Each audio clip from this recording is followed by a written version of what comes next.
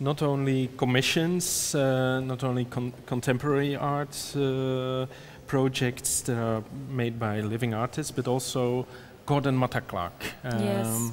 One of the seminal pieces for this exhibition is a piece called Fake Estates by uh, Gordon Matta Clark. It's a piece that is also a little less known uh, of him.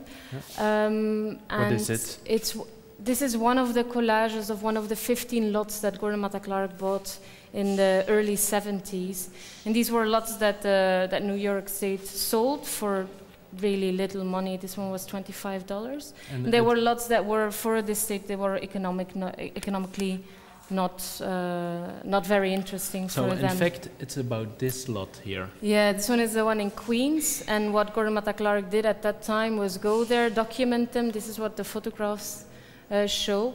But then it's his uh, his wife who made the collages, and uh, right.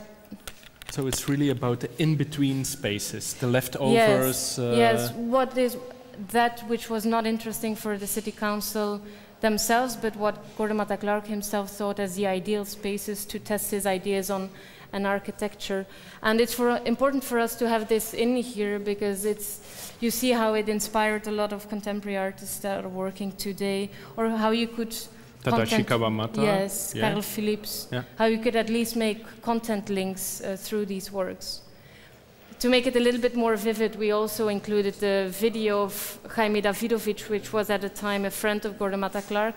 And you see uh, Gordon Matta Clark and a friend of him um, measuring the sites, the lots that they bought. It's pretty funny to know that in the end they sold, or funny, interesting maybe that they sold the lots because the taxes they had to pay on it were more expensive oh. uh, and became too expensive. As an art piece. Yeah.